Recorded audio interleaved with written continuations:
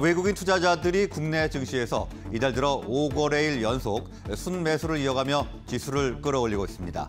올 들어 10월까지 유가증권 시장에서 31조 원 넘게 팔아치운 외국인은 11월 이후 4조 원가량을 순매수했습니다. 외국인의 순매수세 전환은 현물뿐 아니라 선물 시장에서도 나타나고 있습니다. 11월 중순 이후 순매도하던 외국인은 이달 들어 만 계약 이상을 순매수했습니다. 자, 이에 따라 외국인이 국내 증시에 완전히 복귀한 것이 아니냐는 분석이 나오고 있습니다. 전문가들은 외국인의 추세적 귀환을 확인하려면 9일 선물 옵션 동시 만기일의 움직임을 봐야 한다고 입을 모았습니다. 대규모 계약 연장이 이루어질 경우 확실한 매수 기조로 향후 상승장을 기대할 수 있다는 분석이 나오고 있습니다. 다음은 주요 뉴스 보시겠습니다.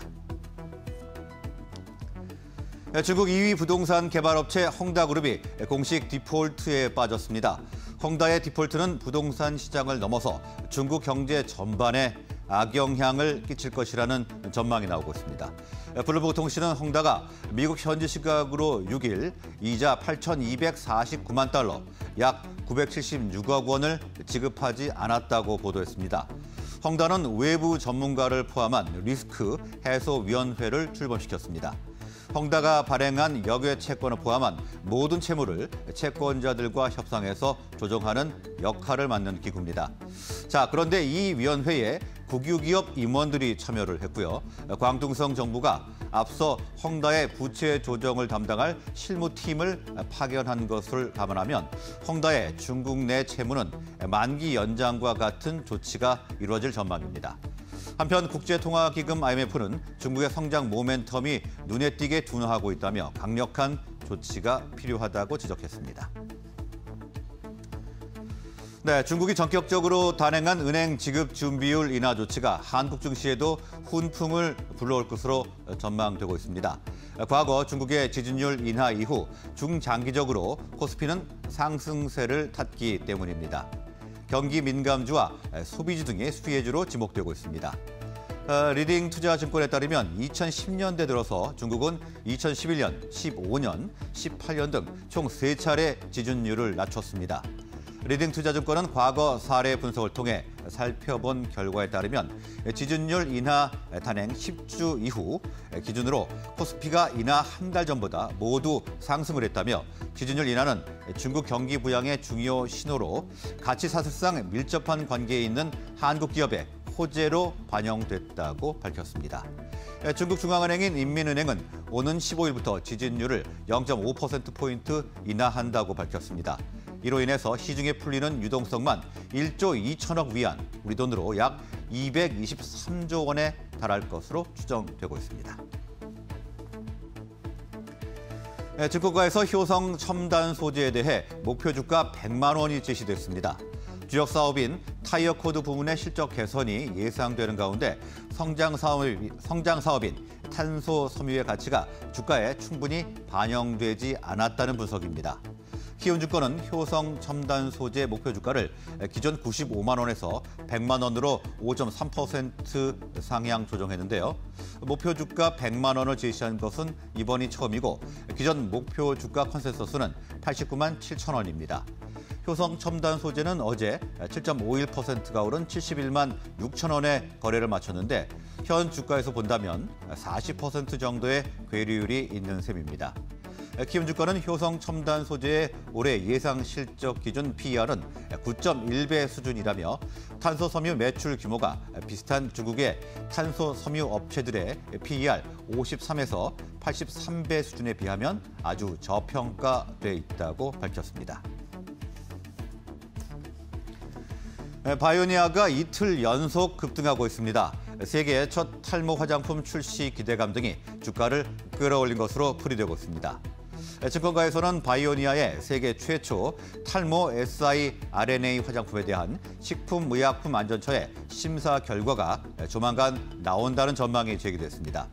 현대타증권은 바이오니아의 탈모 화장품은 세 번의 국내 인체 적용 시험을 통과했다며 식약처 심사 결과는 이달 중순쯤 결정될 것이라고 설명을 했습니다. 현대차증권은 또 지난달 분자진단 공장 증설을 완료해서 생산 능력도 약 9,300억 원의 매출을 일으킬 수 있는 정도로 확대돼 지속적인 성장이 기대된다고 덧붙였습니다. 자, 국내에서 네 번째로 큰 규모의 자산을 운영하는 벤처캐피탈 KTB 네트워크가 코스닥 상장을 위한 청약에서 4조 7,400억 원의 증거금을 모았습니다. 대표 주관사인 한국투자증권에서 709대 1의 가장 높은 경쟁률을 보였고 KB증권이 가장 낮은 300대 1을 보였습니다. 지난달 수요 예측에서 50대 1로 다소 저조했음을 감안하면 선방했다는 평가가 나오고 있습니다. KTB 네트워크는 우아한 형제들과 토스 등의 초기 투자한 벤처 캐피탈 중 한 곳입니다.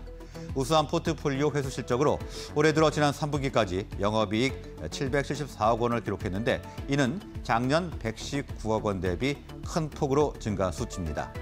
KTB 네트워크의 공모가는 5,800원이고요. 이번 상장을 통해 총 1,160억 원을 조달할 예정이며 오는 16일 코스닥 상장을 눈앞에 두고 있습니다. 지금까지 주요 뉴스 보셨습니다. 다음은 오늘의 투자 전략 알아보겠습니다. 유안타증권 분당지점 백인범 과장이 연결돼 있습니다. 백인범 과장 나와 계십니까? 네, 안녕하십니까? 네, 안녕하십니까? 자, 오늘 어떤 이슈 주목하고 계신가요? 네, 일단 뭐 최근 IT 업종, 뭐 반도체 업종에 대한 이제 관심이 좀 시장에서 좀 나타나고 있다라는 점에서 일단 연말 연초 같은 경우에는 IT 업종에 대한 관심 좀 이어 나가자는 측면에서 관련 내용 좀 준비를 해봤습니다.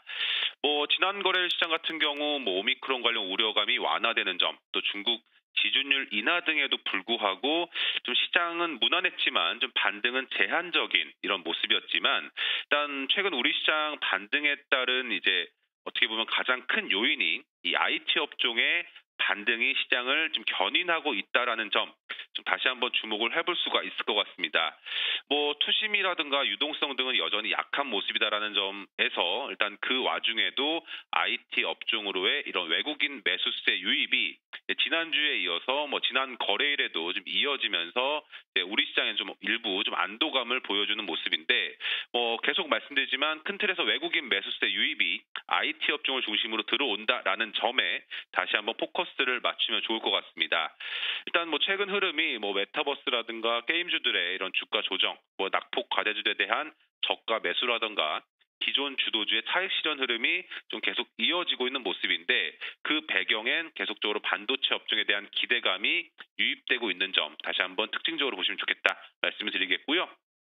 일단 반도체 업종 사실 연말이라든가 4분기 같은 경우에는 어, 사실 계절적으로 좋지 못한 모습이 좀 많았습니다. 하지만 어, 생각보다 좀 이르게 그러니까 오미크론 관련 이슈가 도리어 이러한 뭐 재고 조정 이슈를 앞당기면서 반도체 업종의 반등을 어, 조금 더 빨리 좀 일으킬 수 있다라는 긍정적인 요인으로 작용한다라는 의견이 다시 한번 힘을 받고 있는 모습인데요.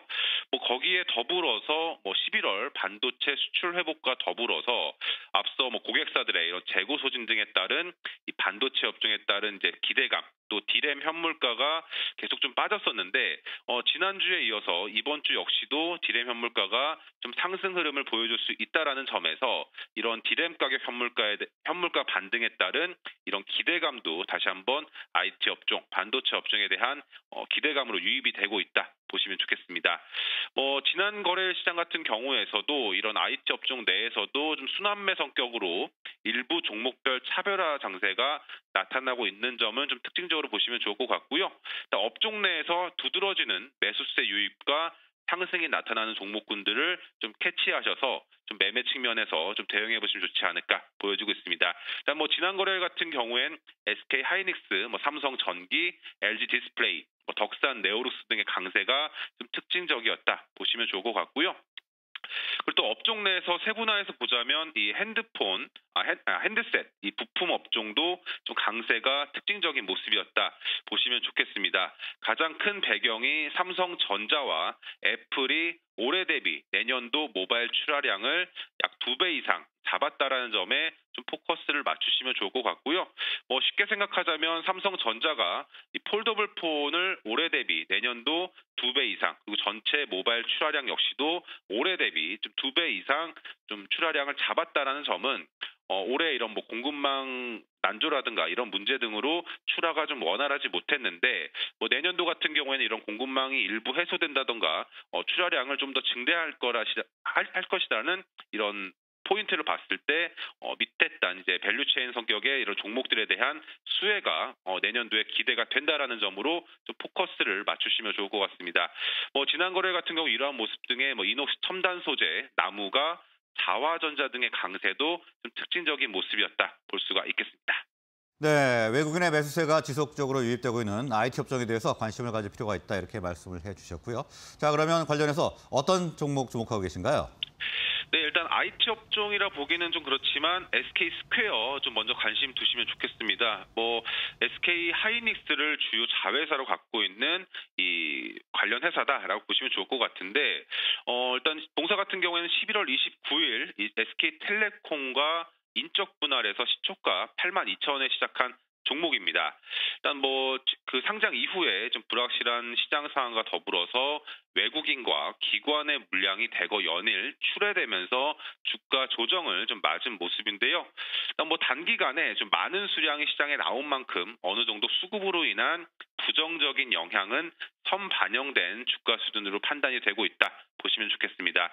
뭐 주요 자회사인 SK 하이닉스의 최근 주가 흐름이 좀 양호한 점 등과 더불어 네, 반도체 업황이 좀 어, 나름 좋아지고 있다라는 점 등과 더불어 이제 긍정적인 영향을 일부 받을 수가 있다라는 점과 더불어서 어, SK 스퀘어 뭐 가상화폐 거래소 코빗 지분을 투자한 점, 또 넵튠의 자회사인 이 온마인드의 지분도 좀 확보하면서 투자 회사로서의 M&A가 좀 시작이 되고 있다라는 점에 주목도 해보시면 좋을 것 같습니다.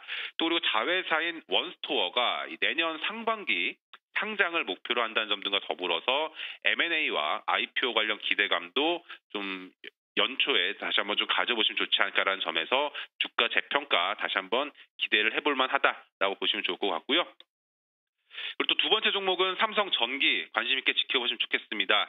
뭐 최근 주가 흐름 긍정적인 모습인데 어, 반등에도 불구하고 밸류에이션 수준 아직도 역사적인 저점 수준이다라는 의견도 어, 최근 반등 배경에 하나로 꼽혀지고 있다. 보시면 좋을 것 같고요.